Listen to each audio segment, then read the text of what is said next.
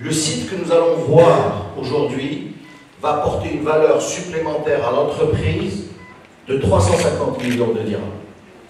Donc c'est un budget qui est extrêmement important en termes d'investissement et qui va créer au total, à titre l'île, 200 emplois.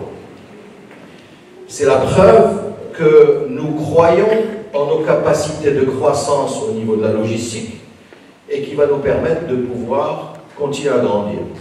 Nous venons d'investir 30 millions de dirhams dans l'acquisition de Marbar et de Advisory Logistique. Exactement 33 millions de dirhams.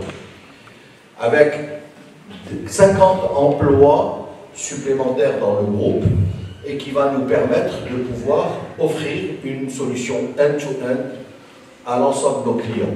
Les références clients que vous avez vues ici sur ce slide ne sont pas, n'incluent pas ceux de Marbar et de Advisor Logistics.